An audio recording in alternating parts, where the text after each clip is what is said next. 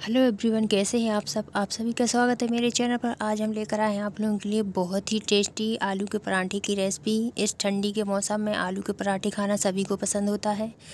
चलिए हम बनाते हैं पराठे। तो यहाँ पर मैंने गेहूँ का आटा लिया है। इसमें हम स्वाद अनुसार नमक डालेंगे। अब यहाँ पर हम तेल डालेंगे। तो यहाँ पर मैंने दो चम्मच तेल डाला है। इसको हम अच्छे से मिलाएँगे। तेल डालने से जो पराठे हैं, बहुत ही खस्ता बनते हैं। बहुत ही सॉफ्ट और नरम पराठे बनकर तैयार होंगे। इसकी, देखिए इस तरह से आटा इकट्ठा होने लगा है। तो अब यहाँ पर पानी डालकर इसका डो लगाएँगे।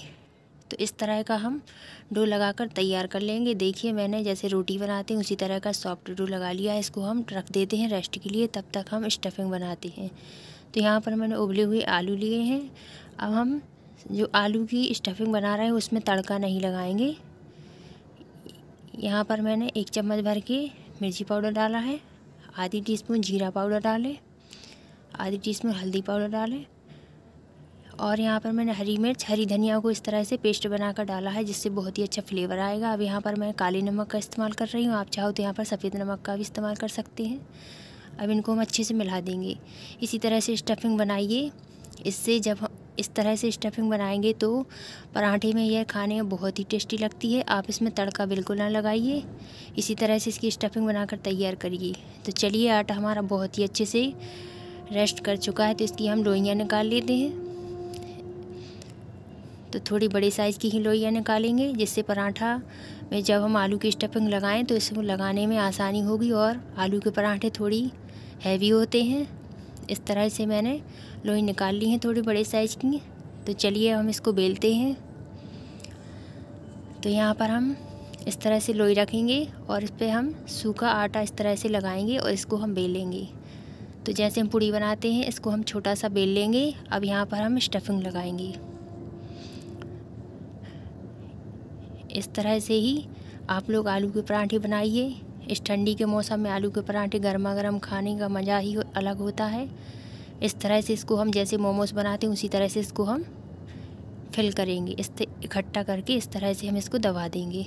तो हमारा आलू है जो बहुत ही अच्छे से से अंदर सेट हो जाता है। तो थोड़ा सा ऊपर से हम आटा डालकर इसको हम बेलेंगे। हल्के हाथ से ही इसको हमें बेलना है। अब छोटे बड़े साइज़ के जितने भी आप बेलना चाहें, उस हिसाब से इसको बेल लें। मैंने रोटी के बराबर इसको बेल लिया है। देखिए, इसी तरह से मैं दूसरा भी बनाकर तैयार कर लेती हूँ। दूसरा भी हमारा बन चुका है तो चलिए अब इनको हम सेंकते हैं। तो तवा हमारा गर्म हो चुका है तो इनको हम सेकेंगे। इस तरह से घुमाते हुए इनको हम सेकेंगे, इनको हम पलट देते हैं।